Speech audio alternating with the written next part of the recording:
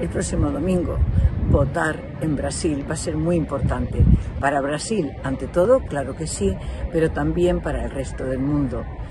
Va a ser un acto de reafirmación de la democracia, de lo mejor que somos, de lo mejor que tenemos, de la limpieza electoral, de los valores. Votar en Brasil es votar a Lula de Silva.